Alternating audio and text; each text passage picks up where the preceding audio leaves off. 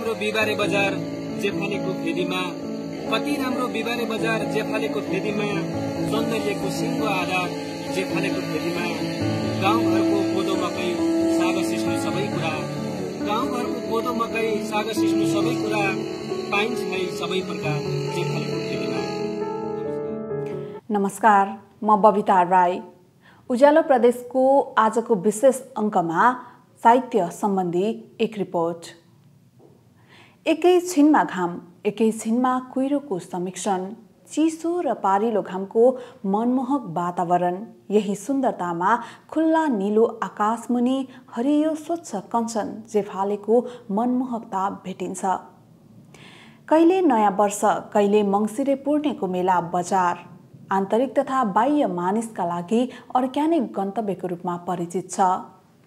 झन्डै छ महिना लामो लकडाउनका कारण सुस्ताएको पर्यटनलाई जेफाले सृजना डबली मार्फत साहित्यिक स्रष्टाहरूलाई जोड्दै जेफालेको पर्यटन र सुन्दरतालाई पछ्याउँदै स्रष्टाका फुलबारीमा आएका छन् साहित्यकार तथा गजलकार युवराज ठकुरी। पर्यटन र साहित्यलाई जोड्न सेतु बनेका उत्तरी मोरङका सशक्त युवा साहित्यकार ठकुरीले पछिल्लो पटक जेफालेको पर्यटनलाई कला र सिर्जनासँग जोड्ने पुलको रूपमा जेफाले सृजना डबली कार्यक्रमको सुरुवात गर्दै आएका छन्। पहिलो श्रृङ्खलाबाट पाठक र दर्शकको राम्रो साथ पाएका ठकुरीले बिहिबार दोस्रो श्रृङ्खला पनि सम्पन्न गरेका छन्। जेफालेको सौन्दर्य राष्ट्रिय स्तरका सञ्चार माध्यमहरूमा छापिन र बज्न उहाँकै ठुलो योगदान रहेको छ। सामान्य मानिसहरू भेला गराउने अनि कहिलेकाहीँ सृजनशील मनहरूलाई उपस्थित गराई साहित्यिक मनहरू जोड्ने पुलको काम गर्दै आएका जेफाले सृजना डबली खुल्ला आकाशमुनि हरेक बिहिबार सञ्चालन हुँदै आएको छ। सृजना डबलीमा सम्मेवाबाट ठाटिएर कवि राज माङ्लाक काँधमा क्यामेरा भिरेर आइपुग्छन् जेफाले होमस्टेका अध्यक्ष युवराज खड्का र सचिव भीमबहादुर ठकुरीले साहित्यिक डबलीको बन्दोबस्ती मिलाउँछन्। सिंहदेवीको लक्ष्मीपुरबाट हातमा डायरी हल्लाउँदै निधारको पसिना पुस्दै जब जोसिला र रसिला युवा युवराज ठकुरी आइपुग्छन् अनि सुरु हुन्छ जेफाले सृजना डबली।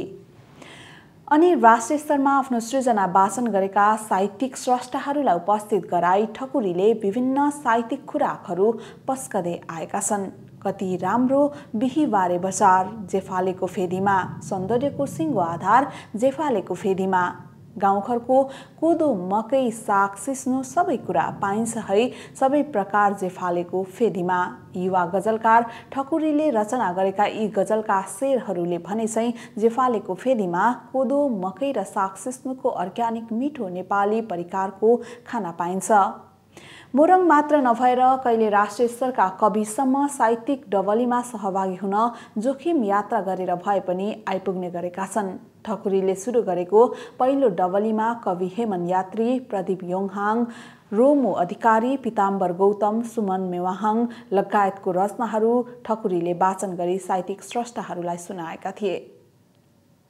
डबलीका प्रमुख वक्ता राज माङ्लाकले जेफाले पर्यटकीय गन्तव्य भएकोले साहित्य सृजना मार्फत जोड्दै थप प्रचार प्रसारमा सहयोग पुग्ने विचार व्यक्त गरे। कार्यक्रमको दोस्रो डबलीमा कवि देवी खजुम निर्देशक गजलकार तथा कलाकार राजेश किराती याक्थुम लेखक सङ्घ धनकुटाका अध्यक्ष तुम्बाम्फु कविन लिम्बू गीतकार तथा गजलकार किव श्रीमान खजुम लगायतले रचना वाचन गरेका थिए। निर्देशक ठकुरीले समाजसेवी पूर्व जेफाले पर्यटन विकास समितिका अध्यक्ष डिल्लीराम शर्माले पनि यस्तो कार्यक्रमले जेफालेको महिमा बढाएको चर्चा गरेका छन्। डबलीका अगुवा युवराज ठकुरीले यो विकटतालाई सबैको निकटता बनाउन र जेफालेलाई सबै सामु पुर्याउन यो डबलीको सुरुवात गरेको बताएका छन्। उनले थपेका छन् यो महामारी बीचमा पनि सृजनशील मनहरूको निकट रहेर पर्यटन र साहित्य सबैलाई जोड्ने अभियान हो। यसले कुनै न कुनै दिन सार्थकता पाउनेछ भन्ने विश्वास रहेको उनी बताउँछन्।